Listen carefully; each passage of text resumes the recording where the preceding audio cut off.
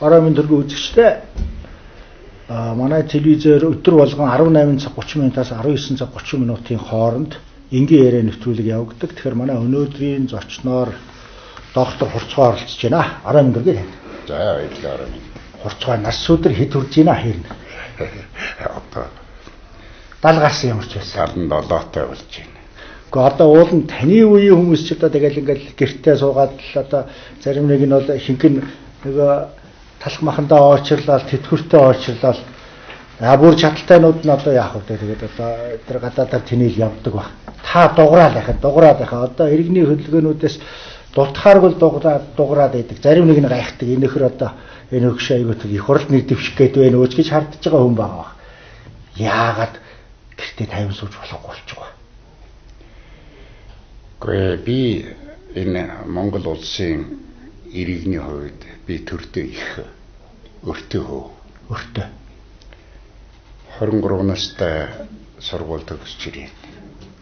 Тэгээ 24 настай геологи албаны орлогч дарга бөгөөд ерөнхий геологчор нэр дэвшин тэр цагаас эхлээд Монголын эрдэс үйлгийг ард түмний хаа ашиг тусын тулд яавал зөв ашиглаж яавал зөв үр дүнд хүрэх юмсан гэдэг энэ ирмэлзэлд хөтлөгдсөн хөө.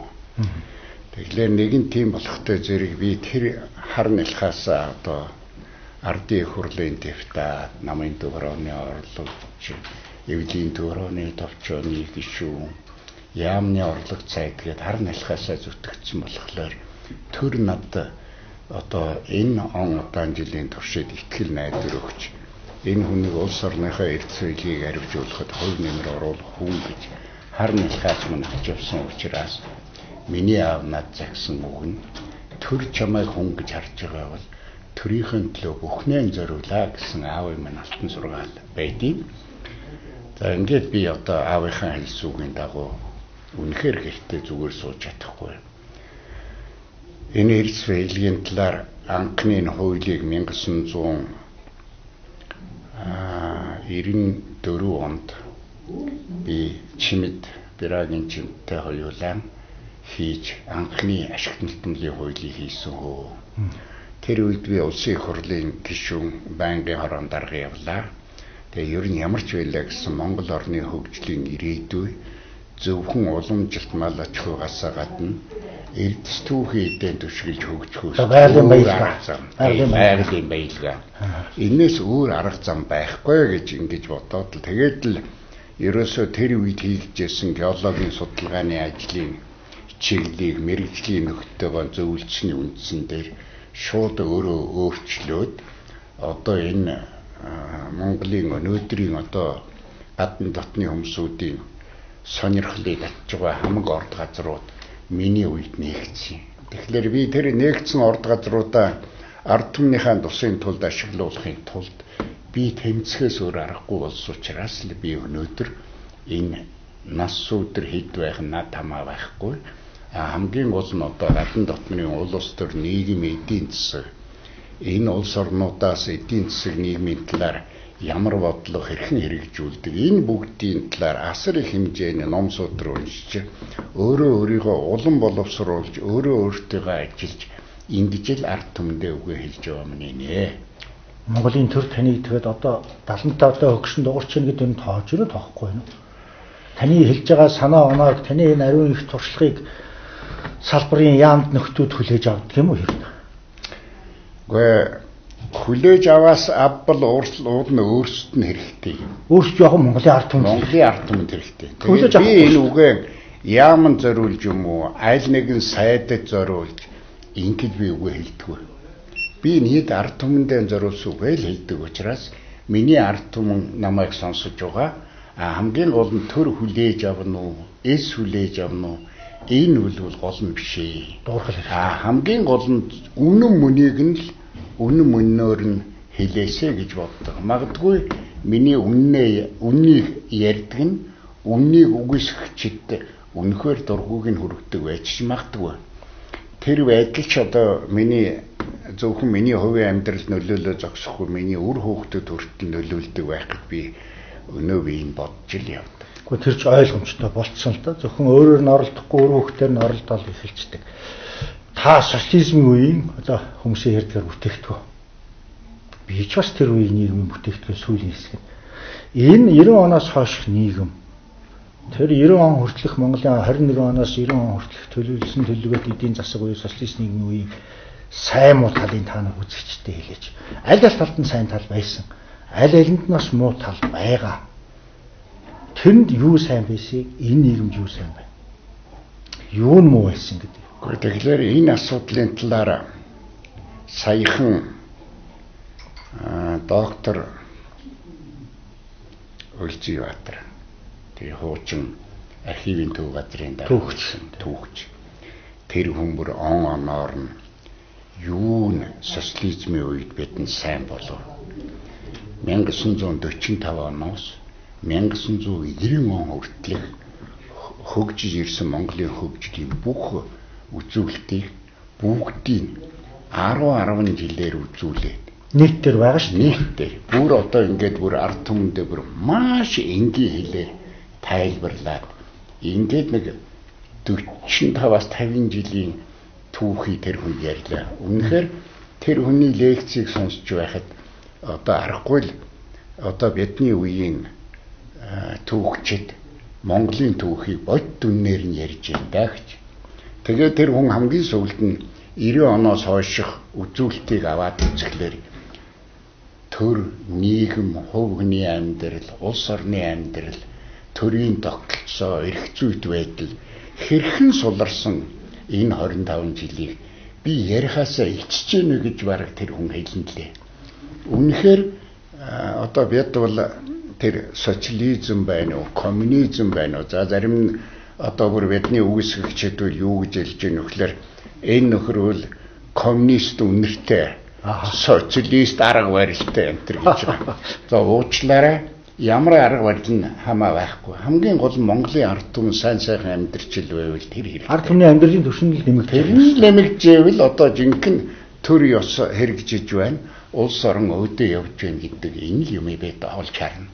Тэгэхээр өнөөдөр одоохондоо одоо хөг цуглуулагчид одоо ер нь өрөвдмөр өрөвдмөр ийм нүд халтармаар байдал энэ 90 оноос хойш сүүлийн 25 жил тэр тусмаа одоо энэ сүүлийн 10 жилдгээр арай гэтэрлээ. Одоо тэр муу хэлдэг социализм үед ч н одоогийн шиг ийм их ажилгүй хүмүүс таны хэлж байгаа хог түүхч, таран шээнийхэн гэр оронгүй хүмүүс одоо юу гэдгийг бие үнэлэгчид тэр улаан чулуутын хогийн зэг дээр одоо 500 хүн амьдарч ийм үзэл байхаагүй шүү дээ. Энийг бол залуучууд бол ойлгохгүй байгаа.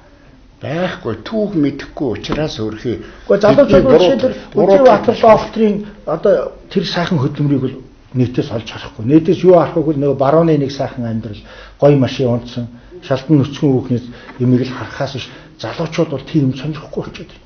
Бүх телевизээр айжгаар нөгөө барууныг Америкийг сурталчлаад Орос бол муу, мөнгө л хамгийн чухлаа гэдэг л ойлголт төрүүлчихлээ шүү дээ. Гэхдээ тэгээ энийхэн юуг амсч юм л дээ. Олон сайхан залуучууд дээд сургууль төгсчөөд ажил мэрэгжилгүй өнөөдөр одоо өстой нөө гудамжин лаз өшгөлөө явж байна гэднийг нэр томьёо гарч ирвэ. Уу одоо би ч 10 10 жил лаз өшгөл шүү дээ. Уу одоо ийм байдал чинь л улс орны маань ирээдүй хөгжлийг доош нь хийгээд байна шүү дээ. Тэгэхээр ийм байдал яагаад үүсэж байгаа юм бэ гэдэг нь Монгол уламжлалыг хадгалахгүй байна. Төрийн залгамж чанарыг хадгалахгүй байна. Төрд ёсыг хүндэхгүй байна. Монголчууд чинь төрд ёсны хувьд дэлхийд бараг сонгомл орны нэг шүү.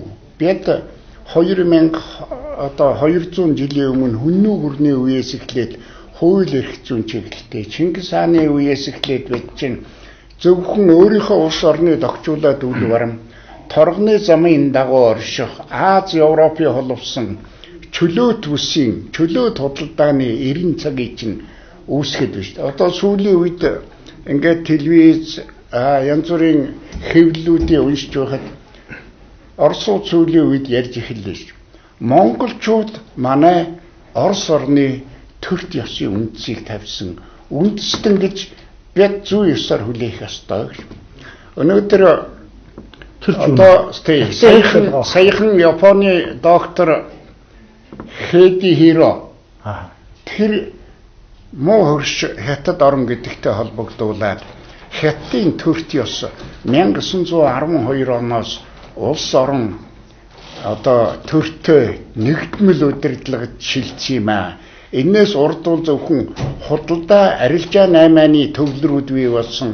Ихэнх хотууд нь том корпорацийн одоо компанийн чиглэлтэй явсан.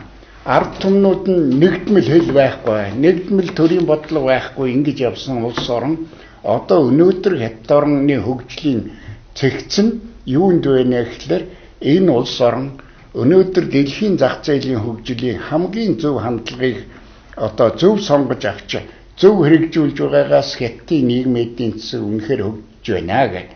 Би бүр саяхан одоо энэ он гараад Вьетнамд очиж амраад ирлээ. Зөөхөн хоног далаа ирэхээр яг одоо Загварчлаар би нэг зочин авч явж байгаа төр үлээж яг. За та бүгд э, шууд нэвтрүүлэгт холбогдож байна. Тэгэхээр э, өнөөдөр манай нэвтрүүлэгт геолог Эрдэнэ ухааны доктор хурцгай оролцож байна. Та асуултаа 1 минутад багтааж тавихгүй юу?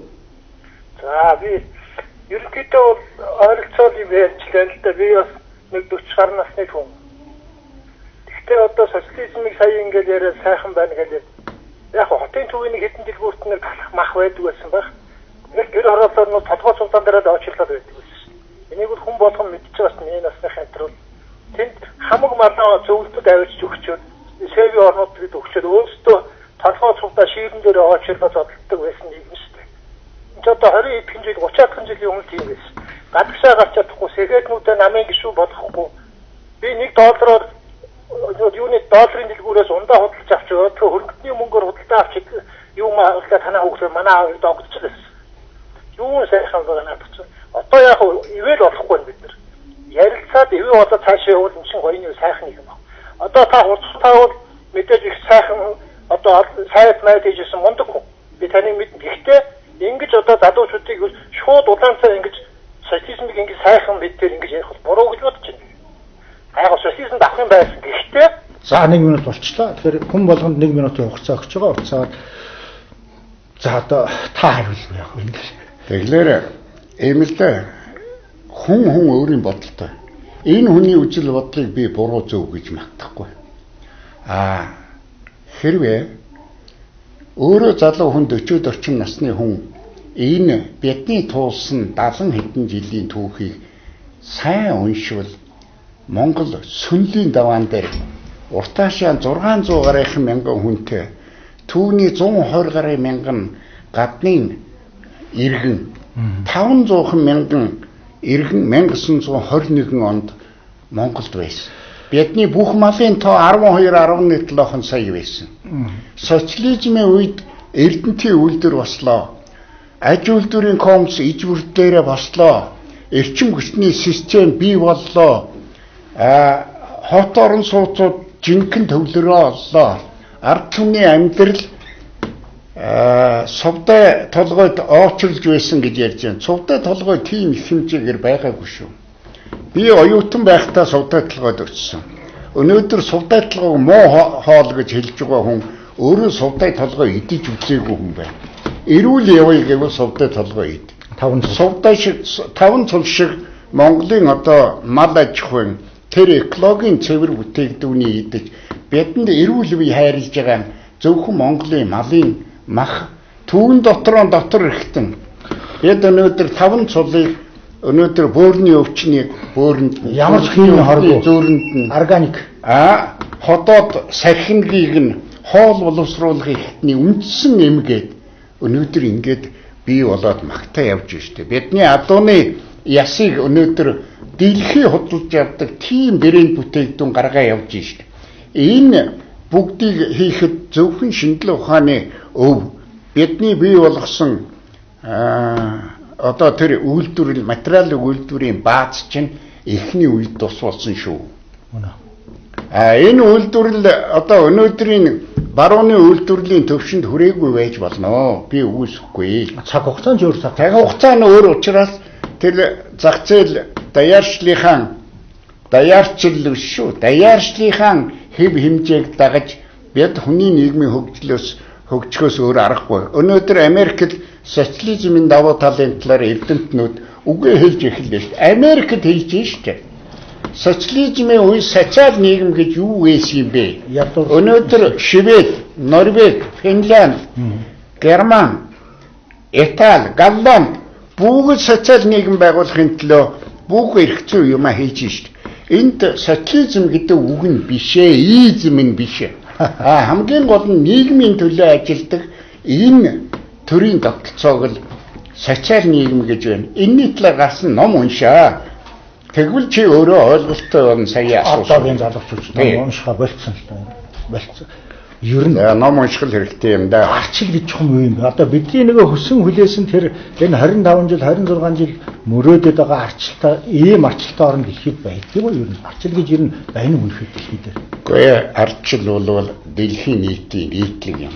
Одоо арчлын мөн чанарыг дэлхийн олон эрдэмтэн номондоо бичээ тайлбарлаад байна. Монгол арчилсан орн мөн тэгэхээр Тэгэхээр өнөөдөр Монгол ардчилсан орн гэхэд үндсэн хуулийн тогтоогоод хэлэлцээд би үндсэн хууль баталсан хууль дээ.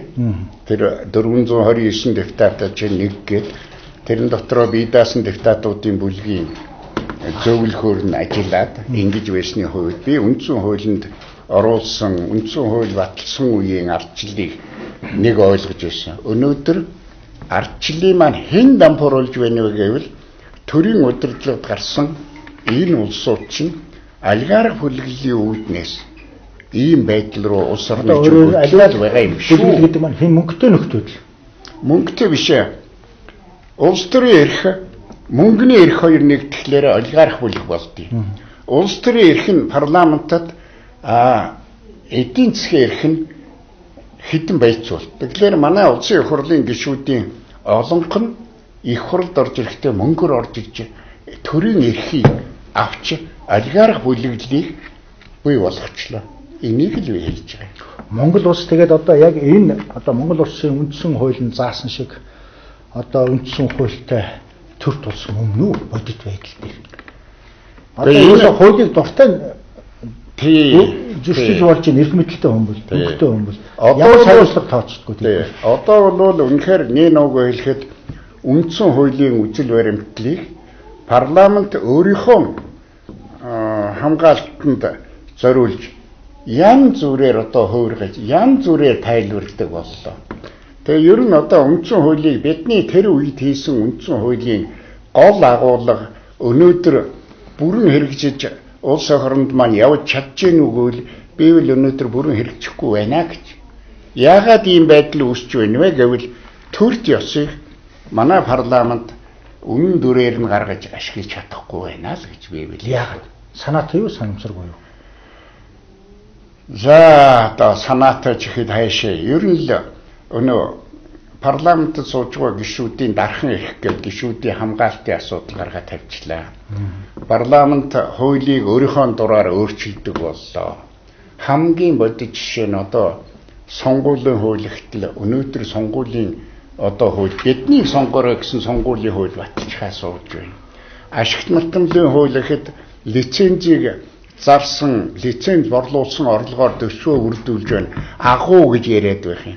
А тэр олгож байгаа одоо лиценз тусгай зөвшөөрлийг ингээд ашиглалтынх нь ч бай, хайгуулынх нь ажлынх ч бай аваад үзэхтэй зэрэг тэнд тим аймгийн тим сумд тим газар зүйн соливчлоор 40 км газар олгоо гэж байна. А тэгээд ашигт нотмлын хуулиндаа энэ үндсэн хуулиас зөрүүлж аваачаад нөгөөх чинь гадны банкнд барьцаа болго тавьж болно гэд үгүйчсэн. Гадны банк нөгөө барьцааг нь аваад үзэхтэй зэрэг газар байдаг. 4000 км хүртэл хайгуулын лиценз. А за ашиглалтын лиценз бол одоо янз янзтай 10 км квадратаас одоо 200 км квадрат хүртэл байна. Тэгээ тэрнийг аваад үзэхтэй зэрэг ерөөсөө л газар олох тухай. Тухайн компани дампуурч банк зээлээ өгсөн. Эргээ авч чадахгүй. Тэгээ юу авах юм?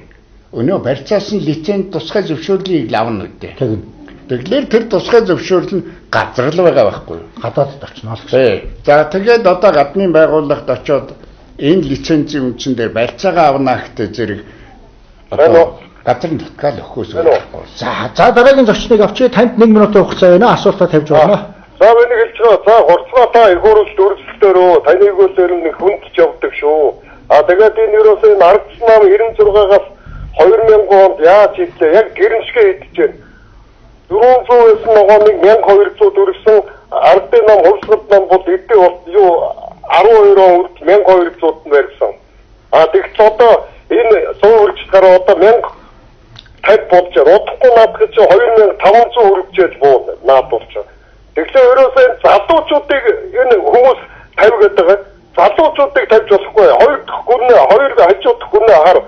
Дан 50-аас дээш насны хүмүүс гарч иж их оронч хүмүүс гардаг шүү. Яг тэр хүмүүс чинь хийдгээ хийсэн их орноо боддог хүмүүс байдаг. Одоо залуу хүмүүс гарсан тэр сайхан байдаг баяр цогт дэдүүсийг хар. Тэр хөнгөн болцсон. Энд чинь биднүүсийн татварын мөнгөийг эднүүс рүү өргөж авсан юм байгаа. Тэгэхээр гурцгаа та их хурлд өргөсөлтөөр би таныг бол өргөсөлтөд дэмжээ шүү. За 1 минут болчлоо. За одоо их хурлын дарга хэлсэн шүү дээ. Одоо 5000 болохгүй нэг доодыг 5000 болохгүй ардсан нам болохгүй байгаа нь ардсан намын говья гэж хэлсэн шүү дээ тийм ээ. За тэр ханчны тухайн асуудал би үл эдийн засгийн биш геологч. А зүгээр намайг их хурл нэр дэвшгэж байна. Баярлалаа энэ хүнд. Гэхдээ аливаа юмд хэв хэмжээ гэж байдгийг. Их хурл би 4 жил суухдаа нэгд өдрөөс 5 дахь өдөр тэр хооронд зарим шөн шөнийн 3 цаг хүртэл хуралдаж энэ Монгол орны зах зээл шилжих 154 шинэ хуулийг ийз багцаар нь хийсэн. Тэрэн дотор байгаль орчны хамгаах нөхөн сэргээтэй холбогдсон ижүүр 8 хуулийн ажлын хэсгийг нь удирдах батлууллаа. Үн гашуун хамаг байгаль баялаг орд газар дээр нь эдс баялагын ашигт малтмлын хуулийг 94 онд батлууллаа. Харамсалтай нь яагаад энэ төрт байдал үүсвэ гэхлээр ийм эвгүй байдал үүсвэ гэхлээр үндсэн хуулиар бидний боловсруулсан үндсэн хуулийг 2000 онд дордохын 7 үзүүлэлт аваач хийгээд ерөөсөө одоо парламентын гишүүн хүн бол хурал суухгүй байж болно. Бараг л өөрийнхөө талаар суух хэмжээнд төвчлээ. Ажлаа хийхэ байлаа. Тэгэхэд бид тэр үед бүх улсын хурлын гишүүдийн 3-ны 2 нь орж ирээгүй бол хурал хүчингээгээ хийдгүү. А хурлыг бүрдүүлэхийн тулд бид эмнэлэгт хэвтэх зөвхөн энэ л байлаа. Чөлөөлөгдөн гэдэг юм уу? Дураараа гадагшаа дотгошоо явна гэдэг асуудал байхгүй. Тэгэхээр ийм нөхцөл байдал чинь нөгөө үндсэн хуулийг аваачаад дампуур уулчихсан долоо өөрчлөлтөөр аваачаа хийц учраас их хурл 3.2% биш их хурлын гишүүдийн тал хувь нь оролцсон. Өөрөөр хэлбэл 39 хүн оролцвол болох нь. Тэрний тал хувь нь station 20 хүн зөвгөөд гарын өсөг гар өргөчвөл батлах нь хууль. А гэтэл өнөөдөр яам нь 19 сайттай нэг үгээр хэлвэл засгийн газар нь парламентыг орлох бүрэн боломжтой бий болсны гайгаар л бидний энэ одоо үйл ажиллагаа явуулж байна. Тэгвэл би бол одоо хичнээн одоо хүсэл заавал та үг дэмжсэн ч гэсэн би бол дараагийн сонгуульд орохгүй. Дараагийн сонгуульд бол Монголын төр төрхтэй дунд ба за өөрөө түрүү 50 нас гिचглээ. За ядахтаа нэг 45-аас дээш төрд ажил хийх гэсэн яам тамгын газрууд нэг хилтэт тасгийн даргаар дор хоёлын ажилтсан. Нилээн сайн хуулийн боловсралтай хүн. Өнөөдөр хуулинд ерөөсөө их хурлын гишүүд нэг 10 сайн хуульч байгаа бол баяр хүргэсэн. Худлаа диплом авсан одоо сургуульд нь суугаагүй ийм хуульчд гараад хууль хийнэ гэж байхгүй төрч ойлгомжтой. Одоо сая үндсэн хуулийн цэцгийн даргаыг босчлаа. Энэ хууль ёсных уу? Одоо буруу юм уу? Үндсэн хуулийн цэцгийн даргаыг Монгол Улсын их хурл өөрчлөлт хийх байдаг юм уу? Гэхдээ энэ чи их хурлын цэцгийн даргаыг чинь улс цэцгийн гишүүд өөрсдөө томилох ёстой. Олонхын саналаараа нууц саналаар.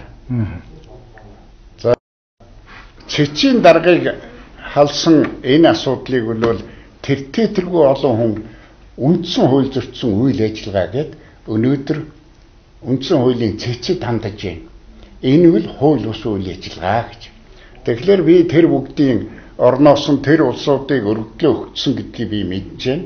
Сонгуулийн хууль, саяын цэцгийн даргаыг халсан энэ үйл ажиллагаа бол улсын хурл арай эрх мэдлэл дэндүү давруулчлаа.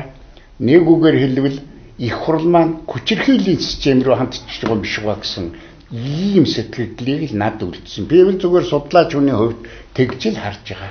Гэхдээ яагаад энэ төрд байгаа нөхдүүд одоо ач намын нөхдүүд төр барьж байгаа. Өндөр албан тушаалтай нөхдүүд өөрсдөө ер нь мөнхийн юм шиг бодоод эхэлж байгаа. 16 оны сонгуул байхгүй юм шиг 10 20 оны сонгуул байхгүй юм шиг одоо бүр үр хөвгтэй өөрсдийнхөө орон тавихаар зүтгэхэд эхэлж байна шүү дээ одоо. Яагаад ийм болт байдал бий болж байна?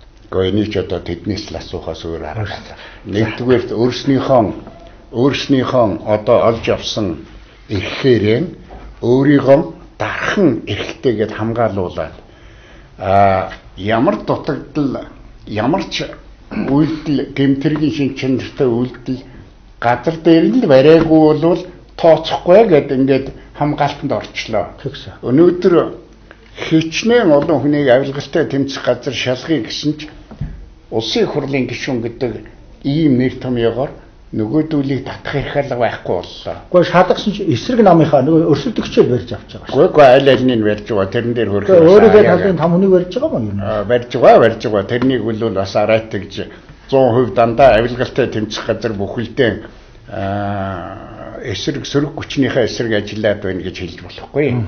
Бид бол давхар давхар ажиллаж ил байна. Өнөөдөр хонд ганц бүхэн хэрэг гэхтэл энэ жоохон аль нь үний аль нь буруу юм гэдгийг хуулийн хүн шийднэ үхсээр бид шийдэхгүй шүү дээ. А бид хичнээн ч өмгөөл давхаар одоо хууль зөрчсөн үйлдэлийг хуулиас илүүгээр шийднэ гэж бидэнд эрх мэдэж байхгүй тийм боломж ч байхгүй. Тэгэхээр Монгол төрт ёсоо хөндлөдөг улс орны хувьд хуулиа баримтлахаас өөр арга байхгүй. Харамсалтай нь хуулиа хийхдээ үндсэн хуулиа зөрчиж хийгээд байгаагаас л хууль хэрэгжихэд хуулинд итгэхгүй аргагүй байдал үүссэн. За дахиад нэг зочин авчих. За танд 1 минутын хугацаа байна. Аа энэ компани эзлүүдийг л ер нь их оруулах буруу юм байна шүү дээ. Энэ хэдэн жил харагдаа энэ компани эзэд гэдэг чинь өөрөөсөө гараад хуулийг баталдаг юм байна. Ер нь. А тэгээд ч нь Оросыг муулаад байдаг юм хүмүүс Оросын хүчинд энэ баялагчийн өдөө утас хадгалагдсан шүү. 70 80 жил Оросын колони байсан гэж ярьдаг. Эдгээс дандаа хожаагийн иргэдүүдийг явуулж байгаа явуулах гэдэг энэ залуу үе сайн бодож авах хэрэгтэй ерөөсөө. Энэ баялагч Орос хамгаалсан шүү. Одоо Эрдэнэтэй гар хэдэн жил тэгжээч. Тэгвэл оюун толгойг хар. Хичнээн тоон 2 жил арт зэсэг гаргуу хэдэн төгрөг Монголд оров. Энд ч зөвхөн энэ цагаан урагчтай орнод орж байгаа шүү. Энийг л хэлмээр байна. Тэгээ энэ горцгоо та ер нь өрсөлдөх хэрэгтэй шүү. Энийг би их шүтэж байна. Ягта эрдсэйхээ сайдаа сонсогдох хэрэгтэй шүү. Авчин хүмүүс тэгээд дайсавгаа туулж байна. Мундаг мундаг хүмүүс байгаа шүү. Энэ хүмүүсээс гаргахчвал ард түмэн бодож битгий залуучуудыг залуучууд гаргасан. За 5 минут болсон. 5 минут 1 минут болчихлоо. Гэхдээ Японд байсан бол та нэр дэвшиж болно. Японд 70 эдтэй хүн бол бараг залууд орно шүү дээ. Тэгэл нэр дэвшээл явж идэг Японд. Манай монголч бас арай өөр юм аа. Монгол хүн хүний нэг юм яаж бодох вэ гэхдээ тийм ээ. Үгүй. Энэ ийм байх юм. Би 58-тай дэтгэврт гарах боломж байсан. За. Их хурлын гишүүнээс татгалж чад. За. Тэгэхдээ Татгал заа. одоо чөлөөлөгдөөд За. 96 онд би тэгэхэд 56-тай 7-тай болчихлоо. Тэгэхээр одоо аа яагаад би татгалцсан бэ гэхлээр ерөөсөө одоо залуу үеэн өөд нь гаргаж ирж одоо ядахта залуу үе гэдэг дотор би идэрч үдийг л голыг бодж байна л да нэг 40 хэдтэй. За яг би өөрөө хар нэлхаасаа төрд ажилласан ямар үндслээр яагаад би тэгж хар нэлхаасаа тийм хэмжээнд төрснийхөө одоо болтол би мэддгүй.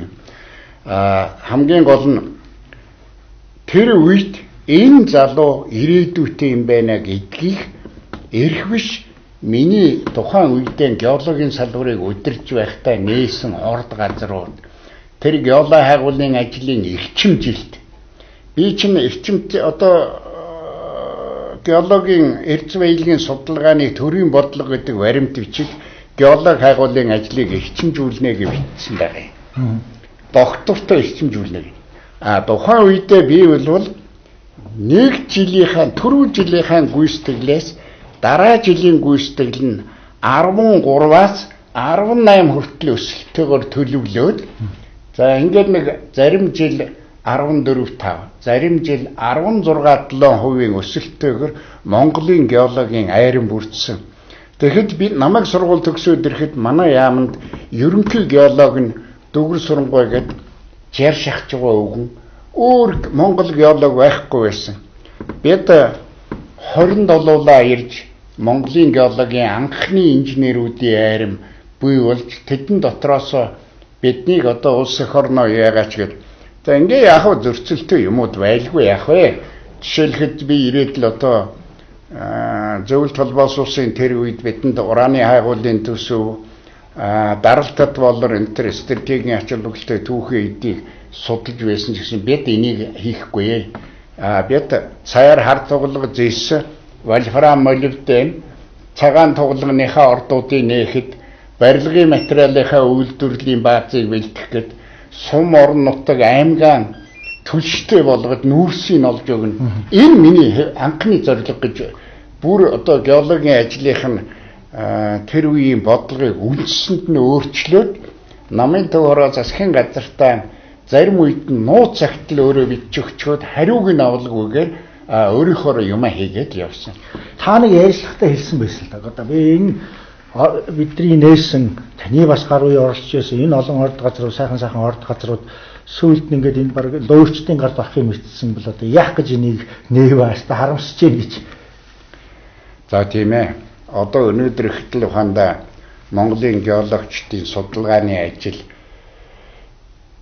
бидний үеийн хоёр геологийн хоорондын зай 2 км явдаг. Өнөөдөр хоёр геологчийн хооронд 500 м-ийн зайтай явж байгаа мөртлөө хамгийн гол геологийн ажлын үр дүн ашигт нутгийн ордын нөөц байд. Аа. Тэгтэл ашигт нутгийн орд газрыг нээн илрүүлэх зорилго нь байхгүй. А ерөнхий геологийн тогтцыг нь одоо газар дэлхий яаж үүсэв? Энэ чулуу хаана ямар учиртай юм? Аль хагарлыг дагж үүсэн гэдэг ийм судалгааны ажилд зориулагдж байна. Энэ үл улс орны нийгмийн эдийн засгийн одоо эрдэс түүхийн эдийн баазыг бий болгох тийм боломжийг өгөхгүй. Тэгвэл таны мэдхийн чанартай юм ба шүү дээ. Тэгээ өнөө хэрэг дээр бол өнөөдрийн Монголын геологийн явуулж байгаа бодлого бол эх орныхон эрдэс баялагын нөөц баялагыг арвижуулахын тулд биш а хамгийн гол нь геологийн судалгаа огт хайчихгүй тулд явж байгаа юм шиг над санагд. Би энэ байдлаа ч геологчдод хэлдэг. Тасаа хэл арвижуулахын тулд биш гэж. Өчигдөр зарцэг доктортой эдийн засгчтай ярихад тэгж би асуусан. Гэхдээ эдийн засгч гэж ер нь юу гэсэн үг юм бэ? Эдийн засгч гэхээр эдийг арвижуулах гэсэн утгатай. Тэгэхээр одоо Монголд үнэхээр 20 сүүлийн 25 жил Монгол улсын сан хөмрөг улмал ядуураад байдаг. Ард түмний амьдрал улам хэцүү болоод байдаг. Тэгэхээр үнэхээр Монголд эдийн засгч гэдэг хүн байдаг юм уу? Энэ эдийн засгийн маань сайжруулахын тулд яагаад төр засгийн юм хийхгүй ийм байдалд хүрчээд байна. Гайгүй. Хамгийн гол нь өөрийнхөө эрдэмтдийг үгүйсгээд тоохгүй. Тоохгүй биш. Үгүйсгээд гудамжинд гаргачихад гадны эдийн засаг тэтгэвэр төрсөн ачирч. Гэхдээ тэд чинь шөнийн дагавар юм өгдөг үстэй. Зөвлөгөө аваад тэгээд өөрийнхөө үндэсний оюуны потенциалыг үгүйсгэж байгаа явдал нь бидний энэ нийгмийн эдийн засгийн хөгжлийн үр дүнг сааруулж байна. Тэрнээс гадна өнөөдрийн манай дунд үед ялангуяа одоо 40-оос дээш гарсан сайхан сайхан илтэрчүүдийн дотор гадаа дотоод яваад сайн муу юм судлаа, нийгмийн эдийн засгийн асуудлыг харчихсан. А одоо ингэхээс өөр замгүй боллоо гэд ярьж байгаа энэ сайхан инженерүүд, энэ сайн эдийн засагчид төр засаг ерөөсөө эднийхээ үгийг хайчих чинь.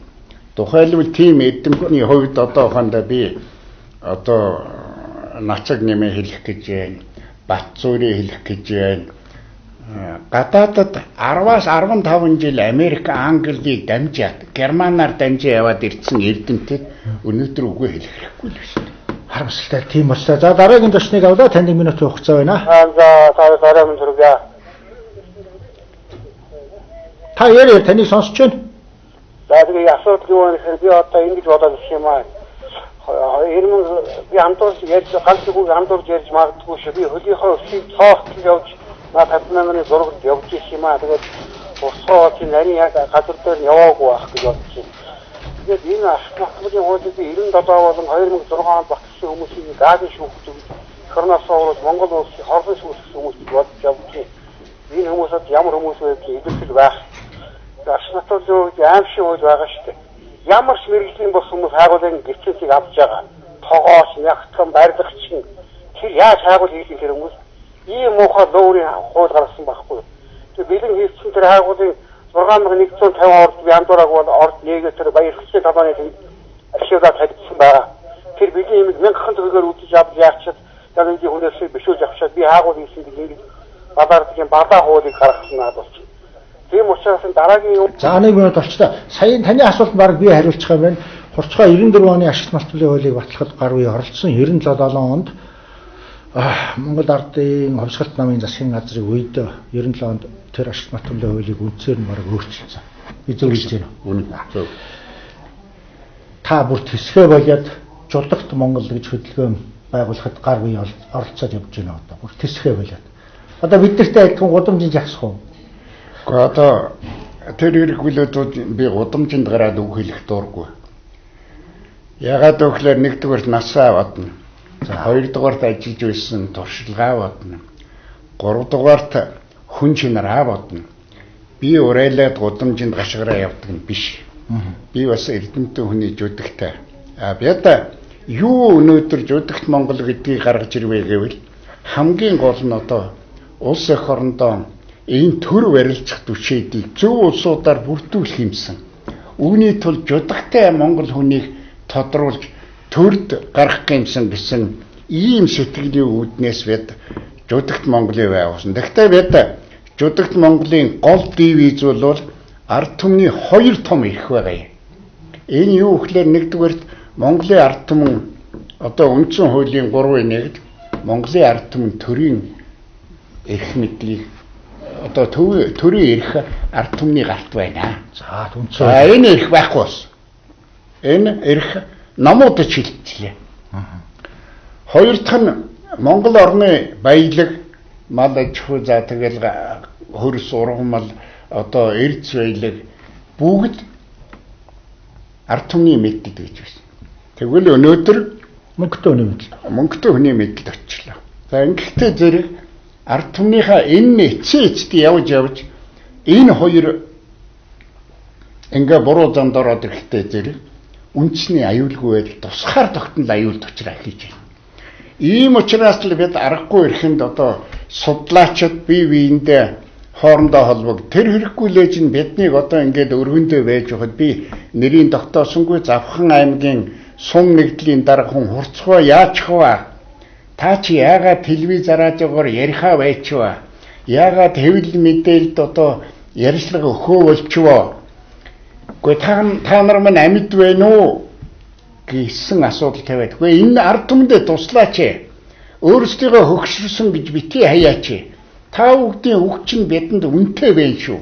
Энийг зохион байгуулаач гэж. Тэгээ бидний 9 хүн нийлж бүгд 70-аас дээш настай болсон За тэрэн дотор 60 хүрчваа ганцхан хүн бий. За тэрний бусд нь бол 70-аас дээш нь болсон. Бид хоорондоо ярилцаагүй энэ ард түмний захиалга энэ юм чинь хэрэгжүүлэхгүй болохгүй нэ.